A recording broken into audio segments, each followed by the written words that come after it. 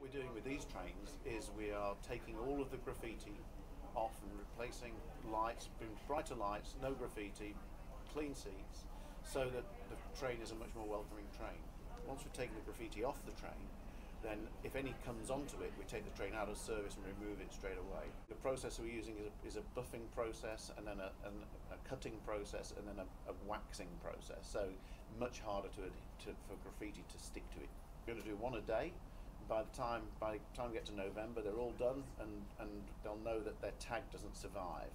This way, we end up with a fleet of trains that are completely clean and we, we hope the, the vandals go elsewhere and don't tag our trains anymore.